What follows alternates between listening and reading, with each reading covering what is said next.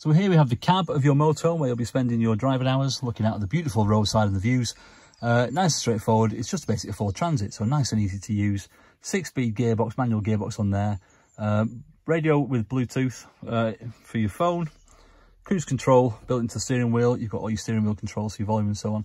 But underneath here is a little cubby hole. So press the button under the dash, lift up the flap, and in there is your sat nav.